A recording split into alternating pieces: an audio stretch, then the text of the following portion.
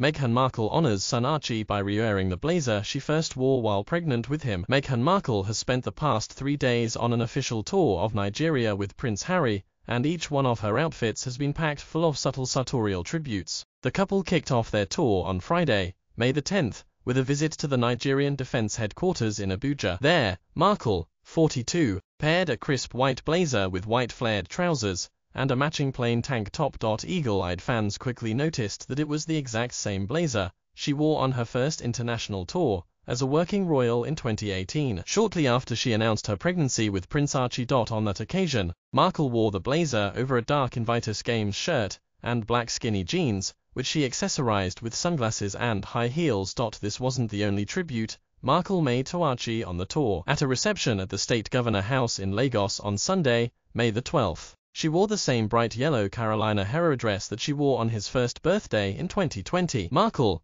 who shares son Archie, 5, and daughter Lilibet, 2, with Harry, 39, admitted that she was missing her children on Mother's Day in a speech she gave that day at the Lagos State Governor's office. Today is Mother's Day, in America, she began, so it feels appropriate that although of course we are missing our children, I'm missing my babies. It feels very appropriate to be in the motherland and amongst family. The couple's latest trip to Nigeria, which concluded on May the 12th, is the first international tour they have done since stepping back from their royal duties in 2020. Like other tours they have done in the past, this one has been jam-packed with activities, each one calling for a different outfit. On Saturday, May the 11th, Markle honored her late mother-in-law Princess Diana by wearing her diamond cross necklace that was recently gifted to her by Harry, according to People. She paired the necklace with a long strapless white dress, gold earrings and an assortment of matching gold bracelets. Markle, who recently learned that she is 43% Nigerian, also made sure to honor her roots by wearing a traditional Nigerian wrap skirt on Sunday,